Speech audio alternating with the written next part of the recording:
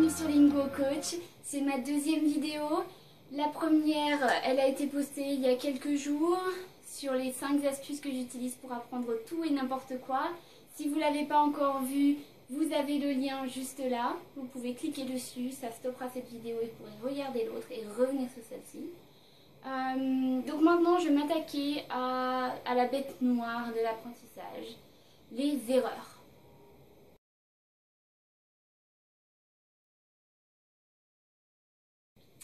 Tout au long de mon apprentissage des langues, je me suis rendu compte que la chose qui me faisait le plus évoluer, euh, c'était les erreurs que je faisais. Parce qu'elles me montraient euh, toutes les choses que je ne savais pas encore. Quand je faisais une erreur, je savais que je devais euh, me focaliser sur, sur cette erreur pour, pour comprendre pourquoi j'ai fait l'erreur, tout simplement. Maintenant, je vais vous expliquer comment faire pour apprendre de vos erreurs. C'est vraiment très simple, c'est juste une habitude à avoir.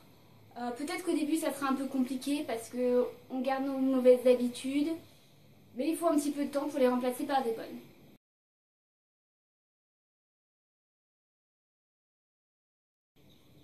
Une chose aussi très importante quand vous faites une erreur, c'est de l'accepter.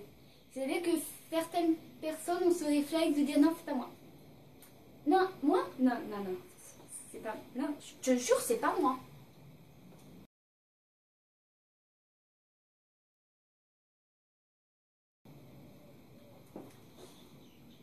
Vous n'êtes pas prêt d'apprendre de vos erreurs. Parce que si vous voulez apprendre d'une erreur, il faut que ce soit la vôtre. Euh, si vous ne reconnaissez pas ça, vous ne pourrez jamais apprendre de vos erreurs. Vous continuerez à les faire. Si vous n'êtes pas comme ça et que vous voulez apprendre de vos erreurs, il faut les accepter. Au départ, c'est un petit peu, euh, voilà, voilà, de dire qu'on a fait une erreur, c'est pas forcément très agréable, mais euh, vous allez gagner au change. C'est quelques minutes où vous ne vous sentirez pas très bien pour euh, une vie d'apprentissage. Donc ça vaut le coup, je vous assure.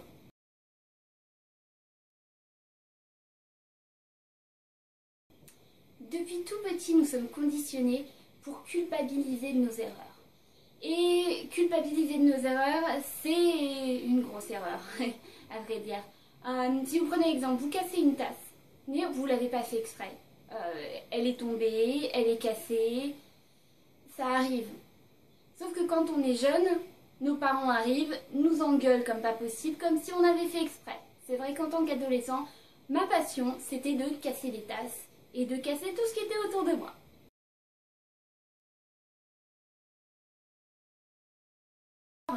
Vous avez fait une erreur, certes, mais c'est pas la fin du monde.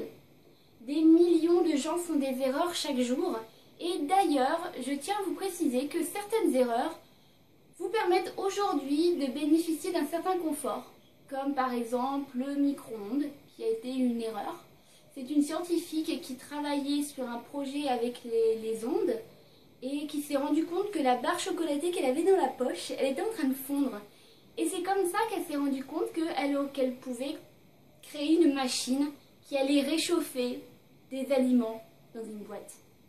Donc la prochaine fois que vous ferez une erreur, juste respirez, prenez une grande inspiration. Aussi longtemps que vous voulez, calmez-vous, déculpabilisez, c'est pas la fin du monde.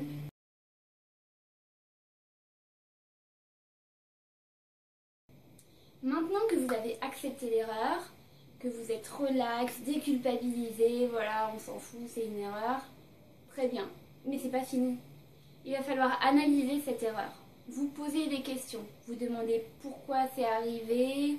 Euh, est-ce que c'est juste euh, maintenant? Est-ce que ben voilà, je suis malade donc j'ai pas de réflexe? Euh, Analysez tout ce qui a fait que la situation en est arrivée à cette erreur.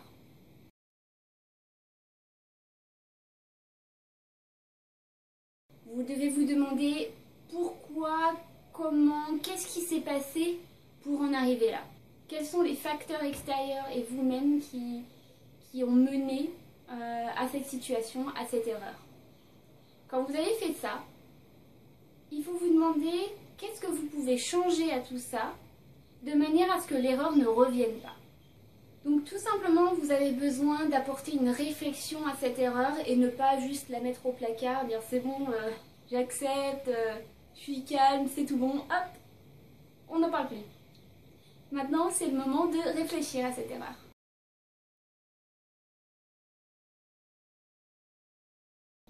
Alors maintenant, on a accepté notre erreur, on a déculpabilisé notre erreur, on a réfléchi sur notre erreur et on a réfléchi à comment éviter que cette erreur se reproduise. Maintenant, il faut tester. Vous avez réfléchi à plusieurs situations, comment faire pour éviter de refaire la même bêtise, euh, mais vous n'êtes pas encore tout à fait sûr que ça va marcher.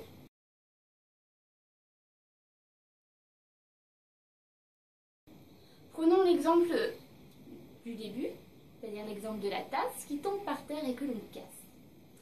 Admettons que cette tasse, quand on l'a cassée, elle était sur le bord de la table, donc on s'est dit, euh, voilà, si elle est tombée, c'est parce qu'elle était sur le bord de la table.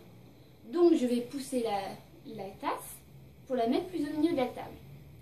Mais vous avez la fâcheuse tendance, quand vous rentrez du travail, de balancer vos affaires sur la table. Inévitablement, la, la tasse se casse de nouveau. Donc vous n'avez pas vraiment résolu votre problème, mais maintenant vous avez une autre idée. Peut-être qu'au lieu de poser la tasse sur la table, vous la mettez directement euh, dans l'évier. Comme ça, vous êtes sûr de ne pas la casser. Et donc vous retestez cette hypothèse-là, et si ça marche, jackpot, vous avez gagné, vous avez appris vos erreurs.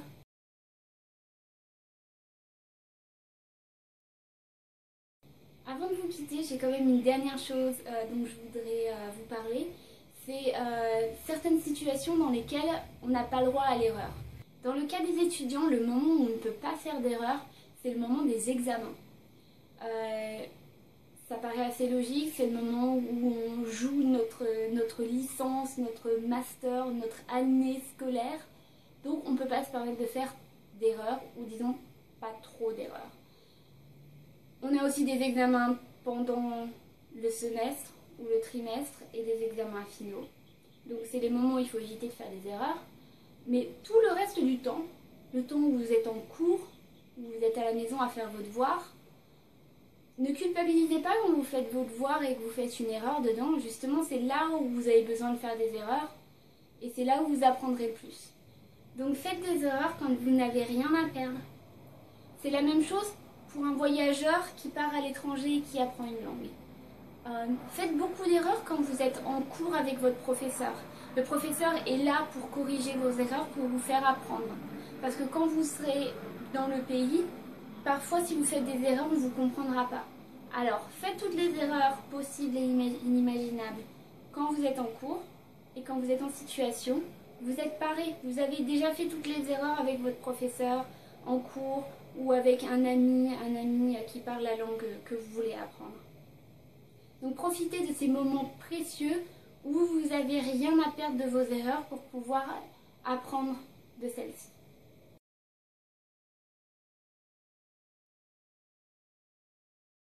Et voilà, c'est déjà la fin. Je suis vraiment triste de vous quitter maintenant, euh, mais je reviens très vite avec une prochaine vidéo. Si vous avez des commentaires à faire sur la vidéo, par exemple, euh, si vous n'êtes pas d'accord avec moi ou si vous voulez rajouter quelque chose, vous n'hésitez pas, vous commentez juste en dessous. Partagez vos astuces pour apprendre parce que je suis sûre que vous en avez plein aussi. Il y a des millions de façons d'apprendre et je suis sûre que la vôtre marche aussi. Merci beaucoup d'avoir regardé cette vidéo. À bientôt